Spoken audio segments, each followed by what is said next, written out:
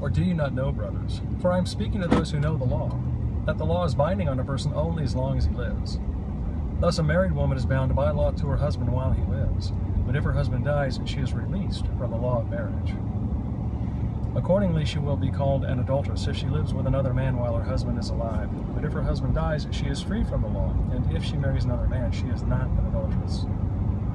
Likewise, my brothers, you also have died to the law through the body of Christ, so that you may belong to another, to him who has been raised from the dead, in order that we may bear fruit for God.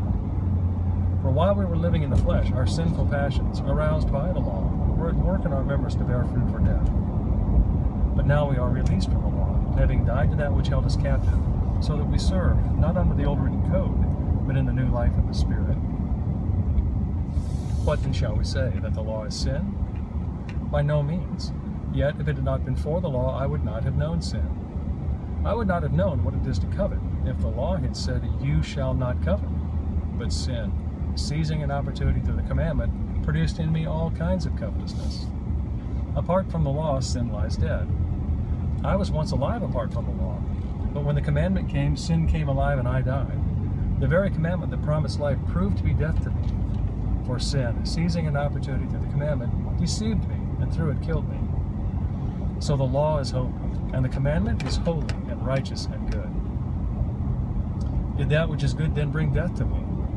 By no means. It was sin, producing death in me through what is good, in order that sin might be shown to be sin and through the commandment might become sinful beyond all measure. For we know that the law is spiritual, but I am of the flesh, sold under sin. I do not understand my own actions, for I do not do what I want, but I do the very thing I hate. Now, if I do what I do not want, I agree with the law that it is good. So now it is no longer I who do it, but sin that dwells within me. For I know that nothing good dwells in me, that is, in my flesh.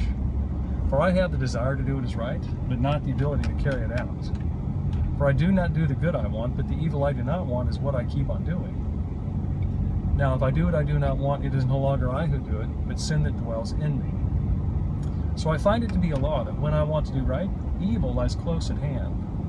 For I delight in the law of God in my inner being, but I see in my members another law, waging war against the law of my mind, and making me captive to the law of sin that dwells in my members. Wretched man that I am, who will deliver me from this body of death? Thanks be to God through Jesus Christ our Lord. So then I myself serve the law of God with my mind, but with my flesh I serve the law of sin.